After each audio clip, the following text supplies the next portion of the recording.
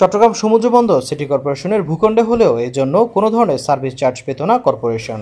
বিষয়টিকে গুরুত্ব দিয়ে বন্দরের আয়ের এক শতাংশ নগর উন্নয়নের জন্য সিটি কর্পোরেশনকে দেওয়ার দাবি জানান সাবেক মেয়র প্রয়াত এ মহিদ্দিন চৌধুরী, সাবেক প্রশাসক খোরশেদ আলম সুজন এবং নতুন মেয়র এম রেজাউল করিম চৌধুরী।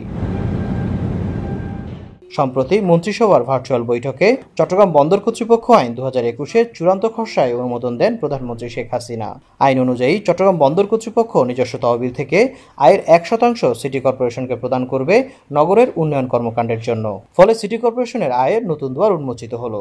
এ পদক্ষেপকে স্বাগত জানিয়েছে বন্দর নগরীর বিভিন্ন শ্রেণি পেশার প্রতিনিধিরা যেহেতু ল্যান্ড হচ্ছে চট্টগ্রাম এই কাস্টমস হাউসের সুতরাং এখানে একটা এক্সট্রা দিতেই হবে। সিটি কর্পোরেশনকে এই তাদের লভ্যাংশের এক শতাংশ দিচ্ছে।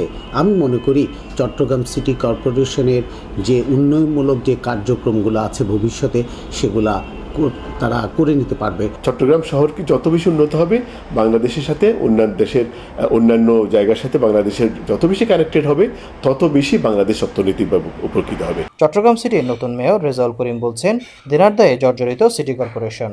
নতুন সিদ্ধান্তটি দ্রুত বাস্তবায়িত হলে নগর পরিচালনা ও নাগরিক সেবার মান দুই বাড়বে। এক শতাংশ চট্টগ্রাম সিটি কর্পোরেশনকে দেওয়ার যে প্রস্তাব অনুমোদিত হয়েছে, এটা অবশ্যই আমাদের চট্টগ্রামের উন্নয়নের গতিকে ত্বরান্বিত করবে বলে আমি মনে করি। চট্টগ্রাম নগরীর সুবিধা ব্যবহার করা, অন্যান্য আর্থিক ও সেবা খাতগুলোকেও নগর উন্নয়নের স্বার্থে এমন আইনের আওতায় আনার দাবি সচেতন নাগরিক সমাজের। নাইমুল ইসলাম, বৈশাখী সংবাদ, চট্টগ্রাম।